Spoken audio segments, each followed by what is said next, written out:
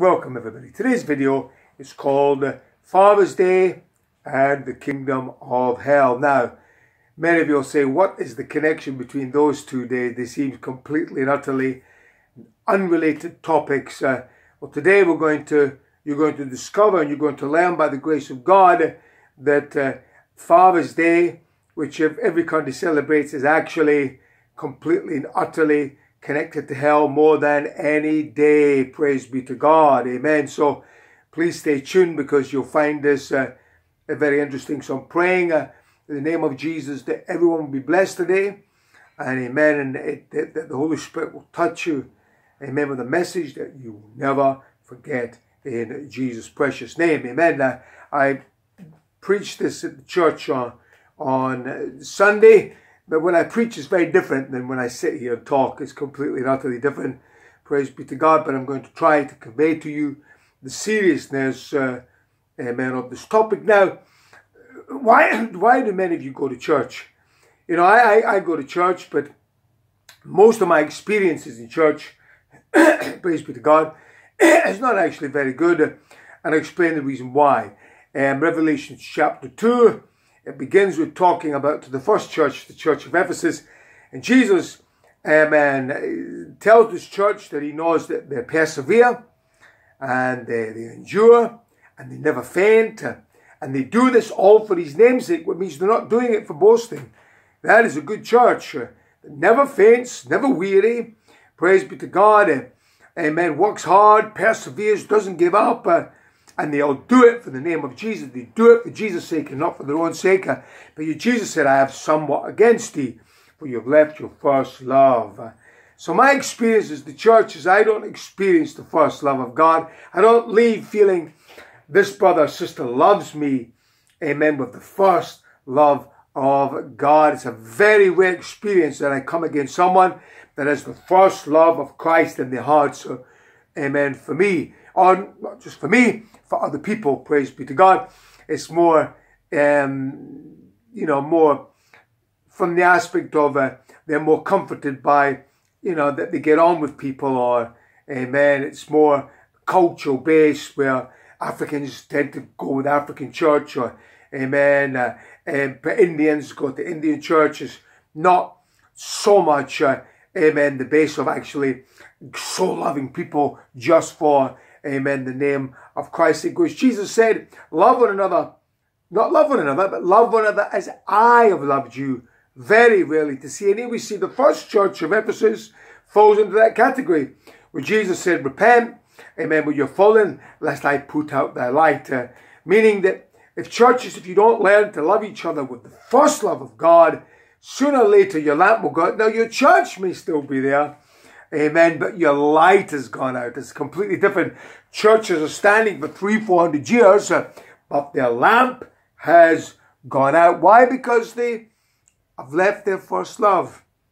Amen. They may work hard, never faint, preach for Jesus' sake, but they've left their first love. Meaning, when I leave, uh, I don't get the feeling uh, and the comfort that people love me with the first love of God. Amen. Praise be to God. So, amen. What's that got to do with Father's Day and hell? Well, Malachi chapter, the last book in the Bible, chapter 1, God opens up and says, Israel, you say, where have you loved us, God? Amen. And what an unusual thing for God to say. God is saying to Israel, I can hear you saying, where do you love us, O God? Israel seemed to have lost sight that God truly loves them. Praise be to God. So you can see also the, the connotation with not forsaking your first love. Israel now have lost sight that God truly loves them. And God seems to accept that. God seems to understand that. Why? Well, Isaiah chapter 1, Jeremiah chapter 1, you see when God describes the temple of God, amen, God describes it in a way, God said, I've had enough of your offerings and your prayers and your Sabbath days, meaning that the church, amen, is functioning without the first love. And God said he's fed up with it. He's had enough of it. So he understands Israel, amen, saying that their experience of God in the synagogue now or in the church, amen, is that they can't seem to feel that God loves us. Amen. And that's the testimony of a lot of people today. They can feel, they can't feel the true love of God for them when they attend church. They can feel a religious love, not the first love of God. And God seems to concur that in Malachi chapter 1. Amen. But the last verse of Malachi, here's when we bring into Father's Day. Father's Day. God closes the whole of the Hebrew Bible with this. Amen. Understanding that you don't feel the love of God. God sees it. God understands that, as he said in Ezekiel, because of the priests, my people have gone astray. Malachi chapter 3, God, the Messiah shall come to his temple and shall purge the sons of the priests, Levites, as with fire. Why? Because uh, Jeremiah 8, uh, 8 verse 8, all my priests and scribes are liars. What happens is that the people are going into the church of God and not leaving feeling the first love of God, which God understands. But God ends the Bible saying this, but toward the last days, I will send my prophet, my servant Elijah, who shall turn the hearts of the fathers. Now watch this. Father's Day to their children and the hearts of the children to their fathers. Uh, lest I come and smite the earth the curse. Why would God say that? And God was saying, Amen, you may not feel my love in the church. And I'm talking the first love. You may not find it when you speak to the pastor, but I want your hearts to look at your children because you feel the gift that I gave you, the children. You will feel my love for you inside of your little children. When I see my little children, and the gift of them, I can feel how my children look at me, how they love me, how they yearn for me to look after them. Amen. Daddy, daddy, we love you, daddy, we love you, daddy, we love you, always cuddling me, always forgiving me, always there for me, always there to wrap their arms around me. That is the love of God inside of the children, not the children. Amen. That's why God closes the Hebrew Bible said, I, I'll understand now you've lost, amen, sight of my love. You don't think I love you, but look at your children and you feel and you see my love inside of them. Praise be to God. Amen. Amen. Uh, and if you cannot feel the love of the Father that He has for you, inside of the gift of your children, then God said, I will smite the earth with a curse. So I go to church on Sundays, uh, and many times I don't feel uh, the love of God, the first love of God for me inside of the church. Uh, amen. But that doesn't stop me going to church. Uh, that doesn't discourage me going to church. Praise be to God. Excuse me, I'm just going to close the window. Thank you. Thank you. So the, na- the neighbours can complain about the shouting. Amen. That doesn't discourage me going to church. Uh, amen. And because I can feel the love, the first love of God have for me inside of my children. That's why Jesus, when the disciples, he was sitting there ministering and the disciples began to take away the children. Amen. And Jesus said, forbid them not, suffer the little children and forbid them not to come unto me, for such is the kingdom of heaven. Even Jesus could feel the love of his father inside of the children. Jesus knows that he knew, amen, that he couldn't feel the love the own people who he created. The Bible said, I came unto my own and my own received me not. Jesus came to the people that he created and they received him not. But the little children, he could feel the love of his father for him inside of the children. He did not want the children to be taken away from his company and rebuked the disciples. The last verse of Malachi, Father's Day. Amen. Uh, Aye, hallelujah. If people don't love me in church with the first love, that's okay. Not okay with God, but I can bear. I'll still go to church. I'll still rejoice. I'll still encourage people because I've not lost sight of the first love that God has for me inside of my little children. I am Malachi, and it shall come to pass that I shall send my servant Elijah and he shall turn the hearts of the fathers to the children. Amen. There's no excuse for not being full of the zeal of God, for not praising God, for not clapping and jumping just because the pastor don't love you with the first love. Amen. And the congregation, amen. Shake your hands, but don't really want to talk to you. It don't matter. Amen. Because I can feel the first love of God for me and my little children. Let the father's hearts turn to that.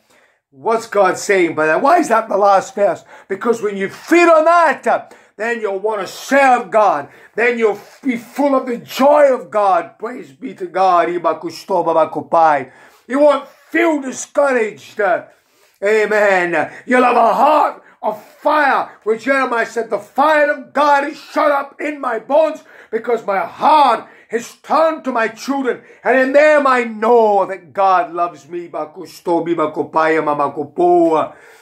Oh, saints of God, hallelujah. Amen. Uh, hallelujah. And that's the joy. Now, what's that got to do with the kingdom of hell? Well, in Bible, there is nothing about hell until later on. In fact, all the Torah, Genesis, Exodus, Leviticus, Numbers, and Deuteronomy, there's nothing there about the kingdom of hell. So much so, amen, that uh, many rabbis believe uh, that nobody goes to hell, eternal hell. Nobody does, even Kustor, Amen. Many of them believe uh, that you're purged there maybe for a short while, but there is no eternal damnation hell because God didn't talk about it. When God said Noah to preach to, to, to um, uh, um, the world before the flood. There's nothing there about him preaching about hell. When Moses was rebuking God's people, amen, he didn't tell them anything about hell. Amen. When Jacob was to talking to, amen, those you never heard them talk about hell, amen, nothing inside, uh, amen, of the Torah is there about hell. The book of Joshua doesn't talk about hell. The book of Judges doesn't talk about hell. The book of Ruth doesn't talk about hell. The first book of Kings, uh, amen, the Samuel of Chronicles doesn't talk about hell. Amen. Now, why is that? Why? Because go back to Father's Day again. The punishment that God gave to and the Torah said uh, in the Torah that the sins of the father shall be punished to the children to the third and fourth generation. God believed, amen, that what would make a man repent was not the teaching of hell. It was if the children, these children are punished, what happened is that the, the fathers will repent. Because if you love your children and you see your children suffer because of your sin, what's it going to do? You're going to repent. You're going to repent. Why? Because you love your children. And that's the most important thing. God said, surely as God so loved the world, he gave his only begotten son. For God loved his son so much. God said, the most beautiful thing that I've given to man is his children. Amen. When Eve, eh, Adam knew his wife Eve eh, and gave birth to Seth, who was his image. Amen. God believes surely man will know. Amen. The precious joy of having a son. Jesus said he sees the son, sees the father. Jesus said, I do all things always to please my father. He that sees the son sees the father. Amen. So God thoughts of God said, surely, amen, when man sins and he sees the children suffer, he will make them repent. Amen. But what happened? All the way up to King David. What happened to King David? Amen. Maybe was the greatest king that Israel ever had. David ended up having Amen. His first son was Amnon. Ammon. What did Ammon do? Rape his sister. His second son was Absalom. What did Absalom do? Kill Amnon. What else did Absalom do? Amen. Drive out David, his king, his father, and slept with all David's wives. Amen. What did the third son, Adonijah, do? Try to steal the throne from Solomon, who the throne was given to. What does Solomon do? Kill Adonijah. What does Solomon do? End up backsliding and setting up temples of gods in Israel. Why did that happen to David's son? Because David ended up having many wives, which God warned in the Torah, Deuteronomy 17. And what happens is the heart now begin to move away from the children. And then God began to bring in the message of hell. If you can't stop smoking and you've got little children, then you need the message of hell. Praise be to God. If you don't care for your children, you die young, leaving your children there, people that love you there. Amen. You couldn't do it because your children. What happened is our hearts now have lost sight. We step into the curse. That if our hearts can't turn to our children, you can't eat well. And you've got little children and you're overweight. You can't eat well you might be there for your children. I don't want to grow, die when I'm 55, 56, 57, 60, and I've got little children that need me. No way. I'm going to eat healthy, that I'm there for my children. Amen. I will send my servant Elijah that will turn the hearts of the fathers to the children. But what happens in the church today? You've got people praising God, people prophesying and reading the Bible and speaking in tongues and way overweight. And many of them end up dying of strokes and heart attacks. And they didn't think about the children and they stepped into the curse without even knowing it. Just because you go to church, it doesn't, it make you escape the curse. If your hearts don't turn to the welfare of your children, you can talk about Jesus you can prophesy. You can speak in tongues. But Jesus said, Depart from me, ye that work iniquity. I know you're not. Your heart couldn't turn. Amen. For your children that need you. And that's what God saw that was lacking. If King David's heart, who was so anointed, couldn't turn round. Amen. Hallelujah. And he prayed for the welfare of his children. Hallelujah amen, from having many wives, uh, then God now began from Solomon to talk about uh, the doctrine of hell and not before. Praise be to God. Amen. What has happened? We're living in a world today that people have lost sight of the importance of their children, how much they need us. They need us to stop sinning. They need us to stop, amen, uh, uh, serving ourselves. They need us to say amen, to see us pray, and they need to see us call upon God. They need you to be there and not to die because you dug your own graves with your knife and fork. Amen. The sin of gluttony is a deadly sin. The sin of gluttony means you're eating beyond what you need. The Bible said God, amen, amen, eh, amen, get, supplies all our needs and not our greed. Smoking is not a need, it's a fleshly greed. And it could kill you and leave your children without you. Now you step into the curse. Amen. And that's what King David did. I was saying this to condemn you. King David himself did it. Uh, and there was chaos inside of his family. And that's why God said enough.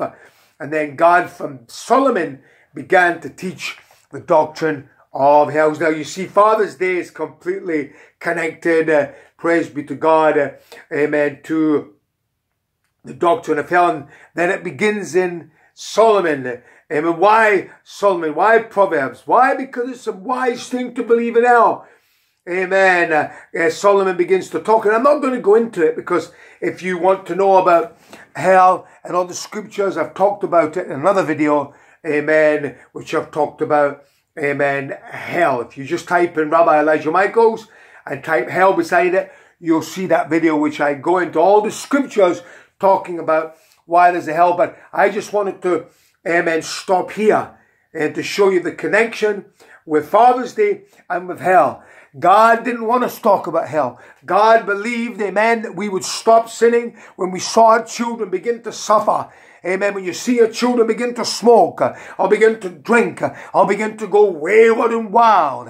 Amen. Curse and swear. Amen. Be addicted to computer games. Uh, that will make you seek God. Begin to call upon God. Begin to say, Lord, remove the smoking from me. I need my children. Amen. To have a good example. Please help me, Lord. I repent. I don't want my children to end up in hell. Hallelujah. But it didn't with David. It didn't. It didn't. Man begin to lose sight. Even King Hezekiah, amen, when he was being punished, God said to King Hezekiah through Isaiah the prophet, I will not judge this judgment in your days, but I'll do it in your son's day. Or Hezekiah said, Oh, good, as long as it's not in my day. And that was a great king. They lost sight, uh, amen, how their sin will affect their children. Hallelujah. Amen. So God, from Solomon's time, begins to talk about the kingdom of hell. And that's why Jesus uh, in Matthew 8, uh, amen, uh, uh begins to talk about uh, or is it Matthew 18? Matthew 8 or Matthew 18, Jesus says uh, that, uh, that many shall come from the east and the west uh, and shall sit down with Abraham in the kingdom. But watch this, but the sons of the kingdom shall be cast into outer darkness. What does that mean? Sons of the kingdom mean your children. Amen. The children that were brought up in the church, uh, the children were brought up in Sunday school that should have been saved end up in hell, people could store. Why? Amen. Because the parents' hearts have not turned to the children. Amen. Praise be to God. We need to come up higher. Paul said, remember Paul said, I have not yet apprehended, but I strive towards the high calling. We need to strive towards the high calling. This in Christ Jesus.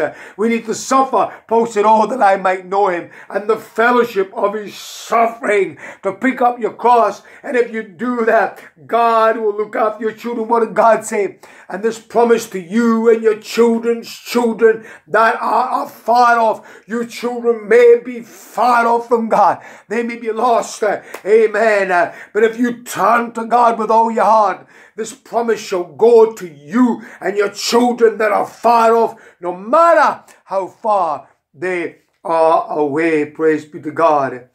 But sadly, remember in the scripture, the kingdom of hell only came in because fathers lost sight of the love of God that God has for them inside of the children. I can feel, it's not idolizing children. I can feel that God loves me inside of my children. Not the children, it's His love.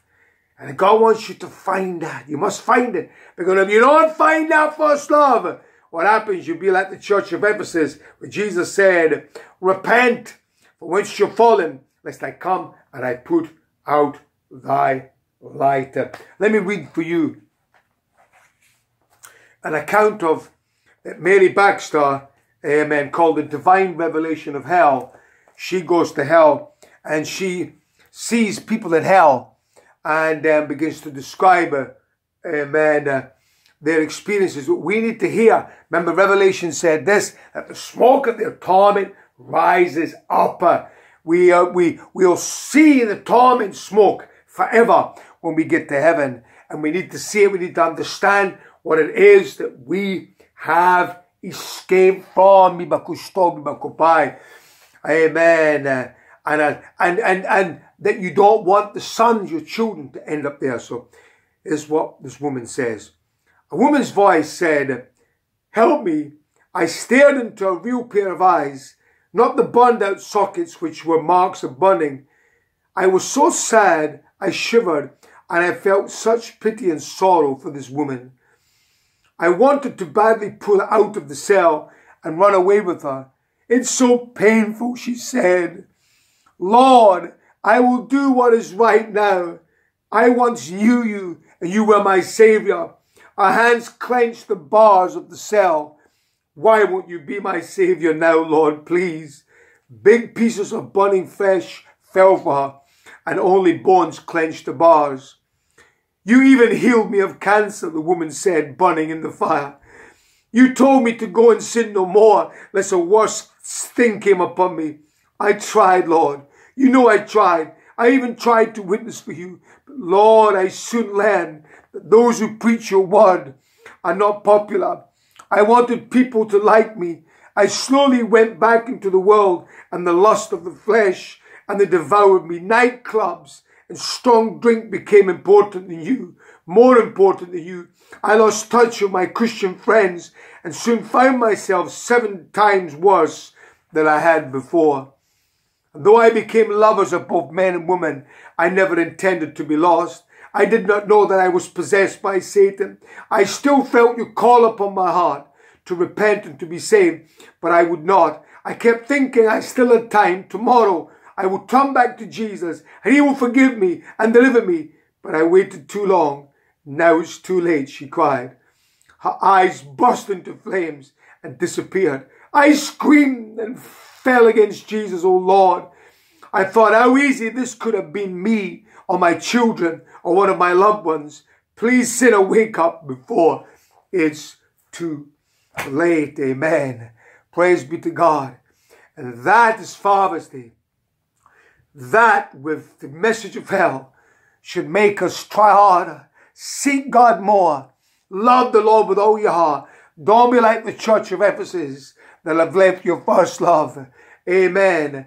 And what end up happening is the sons of the kingdom, like Jesus said, will end up in hell. Praise be to God, because we forgot the value of like, like Elijah, with the message Elijah will preach as Malachi said, he will turn the hearts of the fathers to the children and the children's hearts to the fathers, lest I come and I smite the earth of the curse. And what's the curse? The kingdom of hell.